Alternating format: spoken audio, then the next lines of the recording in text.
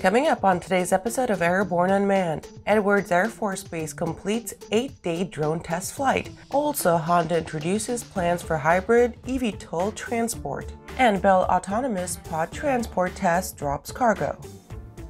Welcome to Aero News Network's Airborne Unmanned program, a weekly news program covering all things unmanned in partnership with AUVSI, the Association for Unmanned Vehicle Systems International. Hi, I'm your host, Kimberly Kay. Edwards Air Force Base completes eight-day drone test flight. A final flight time of 8 days, 50 minutes, and 47 seconds covering 12,200 miles of continuous flight was achieved when the vanilla unmanned prototype ISR UAS touched down on October 2nd. It created the newest world record for unrefueled internal combustion endurance of an unmanned aircraft. The ETCTF has been essential to the development of Vanilla's prototype drone aircraft, trying to create a cost-effective airborne foreign intelligence, surveillance, and reconnaissance demands for long-term periods aloft. Created by Platform Aerospace, a small business from Hollywood, Maryland, they partnered with the 412th Test Wing to launch the aircraft from the Seminole testing location, Rogers Dry Lake Bed on September 24th. Prior records fell short of the eight day mark, the most recent completing five days of flight while uplinked with high definition electro optical and infrared video to a command and control satellites beyond visual range. These capabilities are promising for those eager to get a low cost, ultra endurance ISR asset to the warfighter that can carry real mission payloads, as described by Platform Aerospace CEO. The system that flew these last three days costs less than what DoD pays for some ordnance. After the break, Honda introduces plans for hybrid eVTOL transport. More news after these messages. Whether you're charting a steady course or pushing for the ceiling, Hartzell Propeller has been elevating flight for over 100 years. It's in our passion for engineering and research. It's in our dedication to testing the limits of performance and creating propellers that are as safe as they are sexy. Now, together with our dedicated family of companies, we're propelling the future of aviation. We are Hartzell Propeller, built on honor. Are you ready to ace your FAA drone pilot knowledge test, get your remote pilot certificate, and start earning money? Well, flying a drone is a great tool that can open up new business opportunities for anyone. Realtor, insurance adjuster, videographer, or commercial weekend drone warrior, you need to fly legally. Whether you're pursuing your initial Part 107 remote pilot certificate or you need a renewal, King Schools has a course just for you. So start learning today at kingschools.com. I believe that if people use the landing doctor training program, they will have less accidents and eventually their insurance will go down and they will make a superior pilot. We do personal limitation checklist, which is the most important reason you need to fly with limits. We do ground proximity awareness training, and we do this with a crosswind We've been operating six Bristells for two years without one insurance claim. The Landing Doctor program is working, and you're going to hear more about it. Welcome back. In the next Unmanned Minute, let's take a brief look at a few of the shorter stories that are making the rounds of the unmanned vehicle communities. Jaunt Air Mobility to merge with AIRO Group. Jaunt Air Mobility has announced its upcoming merger with the AIRO Group, a composite of six aerospace businesses focused in the AAM market. Jaunt has found its niche in the global eVTOL AAM market, specifically when using its patented slow rotor compound technology. SRC slows the rotation of the rotor once aloft, reducing drag, vibration, and noise while in cruise. With a streamlined fuselage and efficient wing, the journey, the Jaunt's entry into the AAM market is said to have nearly imperceptible rotor noise. Mars helicopter chief highlighted at NBAA 2021.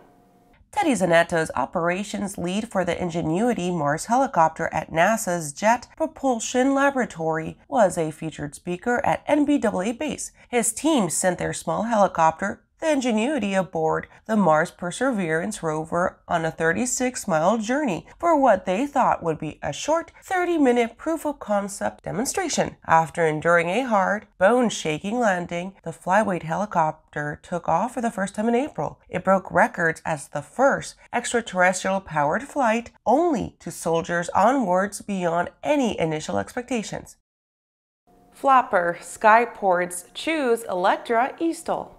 Electra Aero recently secured purchase commitments for 180 of the company's hybrid eSTOL aircraft. The deals taken together are worth more than $500 million over the coming years. Electra's newest agreements have been signed with Skyportz, Australia Advanced Air Mobility Infrastructure Development Specialist, and Flapper, a Latin American on demand private aviation platform. Electra's hybrid electric aircraft is a good fit for these operations, able to carry 7 passengers or 1,800 pounds of cargo up to 500 miles in all weather conditions. BepiColombo sends first shots of Mercury. The ESA's exploration of Mercury announced another successful waypoint on October 1st as the BepiColombo mission returned its first photographs of the planet's surface. The probe represents a joint collaboration between ESA and its Japanese counterpart, the Aerospace Exploration Agency. Launched in 2018, it is currently en route to the smallest, least explored terrestrial planet in the solar system to carry out a full analysis of its composition, magnetosphere, and inner workings. That was our unmanned minute. Now back to the rest of the news. Honda introduces plans for a hybrid eVTOL transport.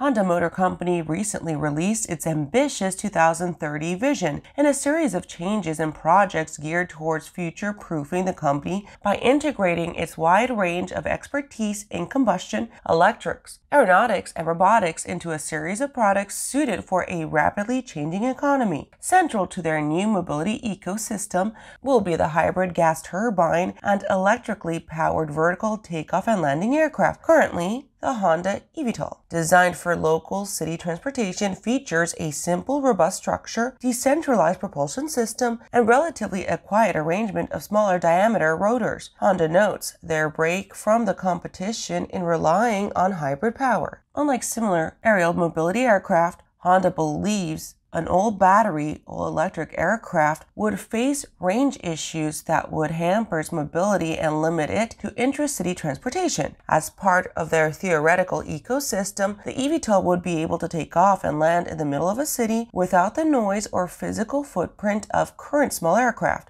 Honda's eVTOL could reach the market just in time to compete against fellow automakers Hyundai, Toyota, and General Motors in the aerial mobility segment.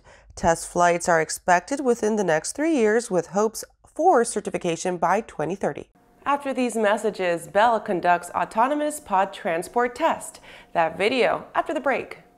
When adventure is calling, the Borey by Aero Volga is the plane you need to answer the call. Borey's composite design is simple, reliable, and economical, with impressive performance and no gimmicks. Designed for the wilderness and proven durability in a flight around the Arctic Circle, the Borey has what it takes to handle your next adventure.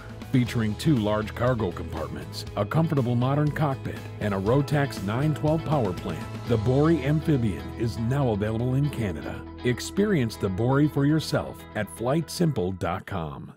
Pilot Communications USA is proud to introduce our latest headsets, the Carbon A1 Active Noise Reduction and the Carbon P1 Passive Headset. Carbon fiber makes our headsets 30% lighter than others, which significantly reduces pilot fatigue. Our BlueLink hand control unit allows you to connect two devices at the same time, and the record out capability can send audio to an onboard camera or digital recorder. Get the headset that's so light you may forget you're wearing one at pilot-usa.com. The Zephyr is what you have always wanted.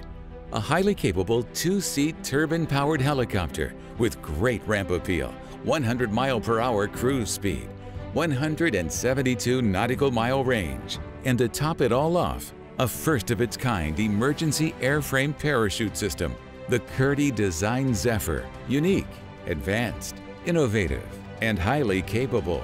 Your ultimate freedom machine is available now at zephyr.eu. Welcome back. Bell Autonomous Pod Transport Test drops cargo.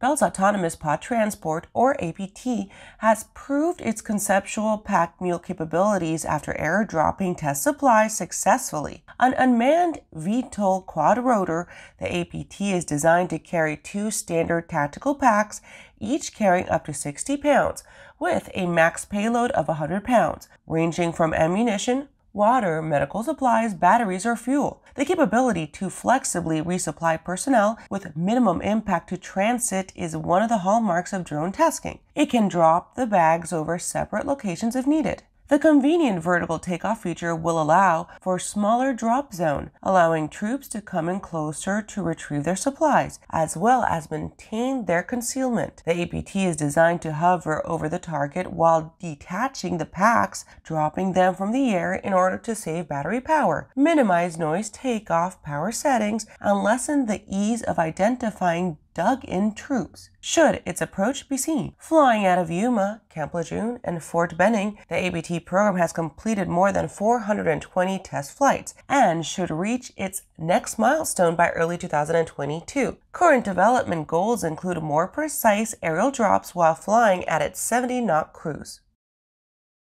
That does it for our show today. I'm your host, Kimberly Kay. You can catch episodes of Airborne on Roku and Fire TV. Just search for Aero News or Airborne in the directory and don't forget to follow us on social media. Thanks for watching. We'll see you tomorrow.